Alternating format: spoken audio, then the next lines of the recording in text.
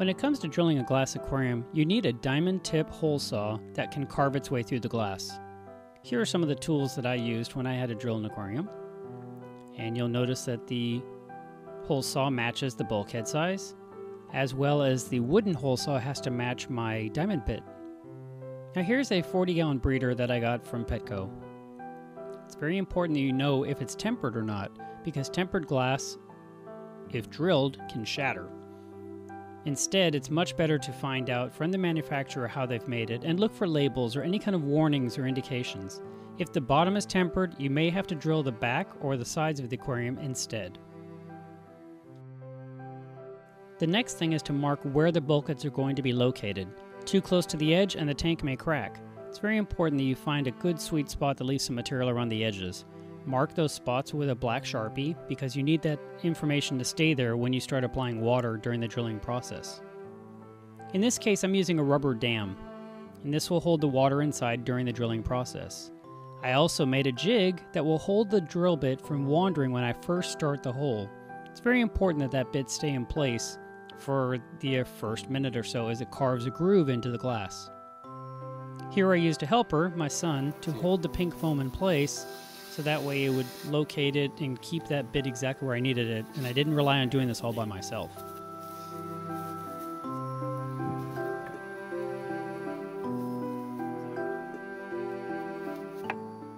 Having a helper hold that pink foam in place, and you can use something else, a wooden board, a piece of sheetrock, you just need something to keep that drill bit from wandering when it first starts carving into the glass, because otherwise it'll dance across the surface.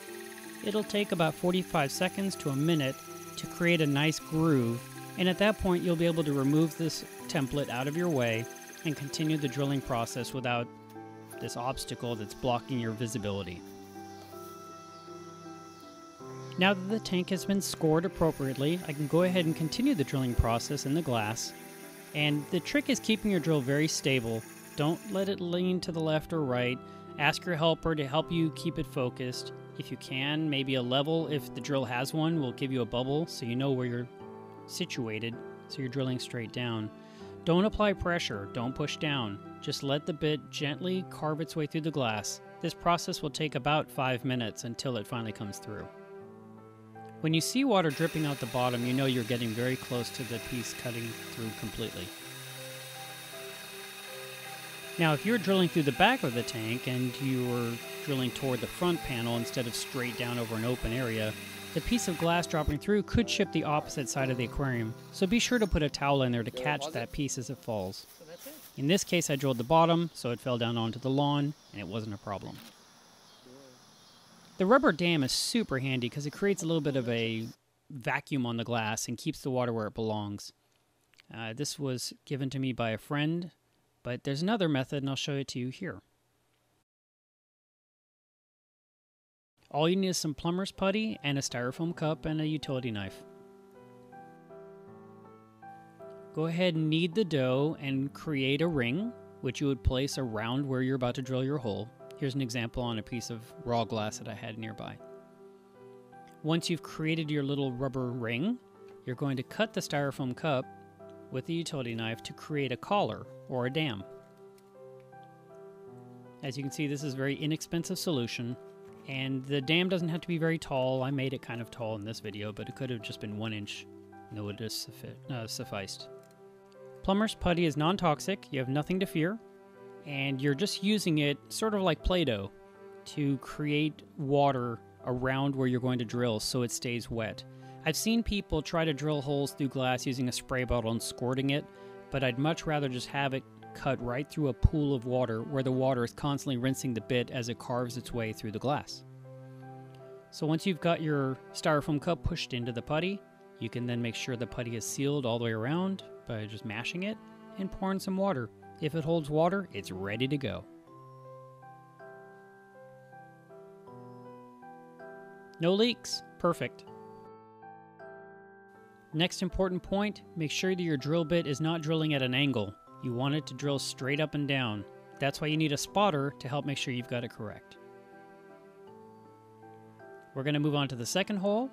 Same principles, principle as before. Add some water, put the template in place, get your helper to hold the template where it belongs so the drill bit won't wander, and spend about 45 seconds to a minute carving a groove in the glass for hole number two.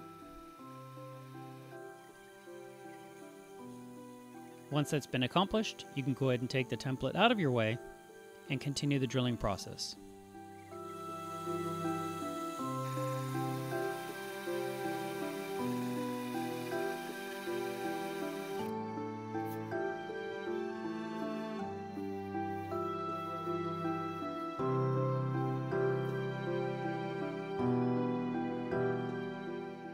It may be a little bit hard to see where you're supposed to put the bit, but you can kind of get a feel for it until you get it into the groove.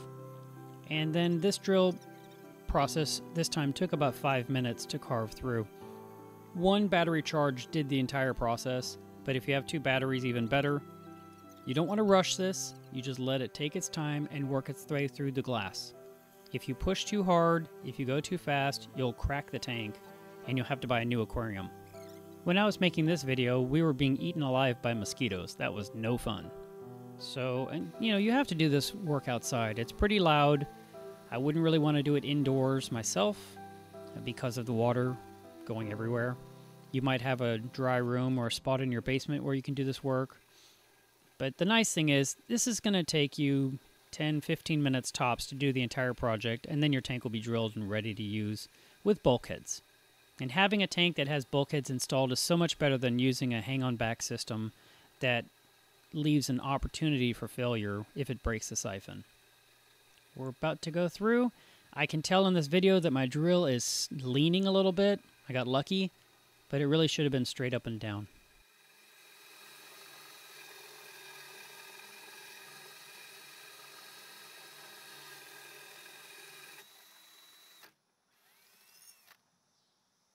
That's it. There's not much to it. The hole saw has to match the size of your bulkhead, and they're often sold in millimeters.